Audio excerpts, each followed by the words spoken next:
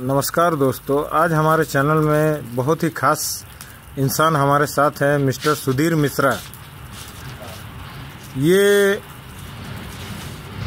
आज हमारे साथ बहुत ही खास इंसान हमारे साथ जुड़े हुए हैं, जो कि ये 2004 से ऑन कर रहे हैं लॉन्चिंग मॉडल इनके पास है। नंबर है J zero five J five six four six आप इतनी बुलेरो, इतनी पुरानी बुलेरो, आप लॉन्चिंग मॉडल बहुत पहले से आप यूज़ कर रहे हैं तो आपका इतने साल तक वो एक्सपीरियंस कैसा रहा? आप थोड़ा शेयर करें हमें। देखिए, इतने साल तक का एक्सपीरियंस हमारा बुलेरो के साथ महिंद्रा की जो बुलेरो है सुपर डी जो पहले 2005 में लॉन्च हुई थी, उसके साथ काफ़ी अच्छा रहा। और वो गाड़ी लेने के बाद में जो हमारे फैमिली और काफ़ी हमारे रोज़मर्रा की ज़िंदगी के लिए काफ़ी उसने बहुत सपोर्ट किया बहुत हेल्प किया हमारी काफ़ी सहायता की आर्थिक स्थिति को काफ़ी सुधार आया।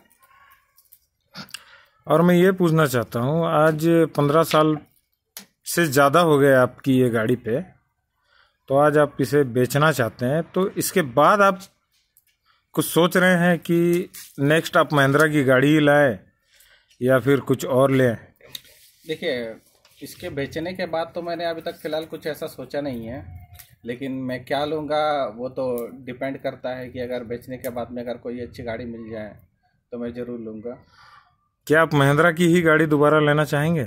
जी महिंद्रा की गाड़ी मैं लेना नहीं चाहता क्योंकि वैसे महिंद्रा की गाड़ी बहुत अच्छी है लेकिन मैं उतनी अफोर्ड नहीं कर पाऊँगा। मेरी स्थिति उतनी अच्छी नहीं है कि मैं महिंद्रा की गाड़ी अफोर्ड कर पाऊँ।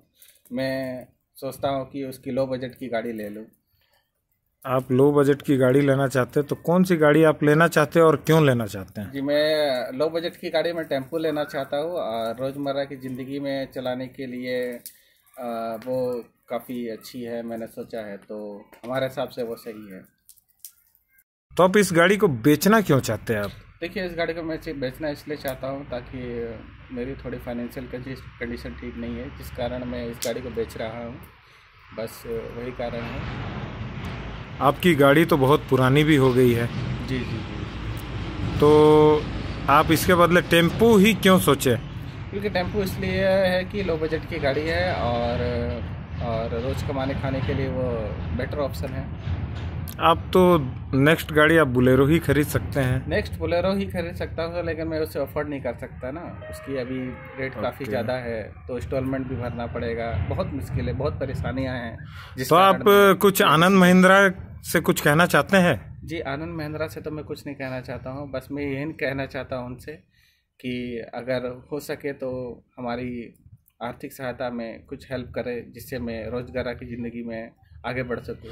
ये 2004 में ये गाड़ी आपको कितनी की पड़ी थी? ये 2004 की मुझे साढ़े चार एक मतलब इंस्टॉलमेंट मिला के पाँच लाख के पड़ गए थे। अच्छा आज की डेट में ये दस ग्यारह लाख की पड़ती है। जी जी जी।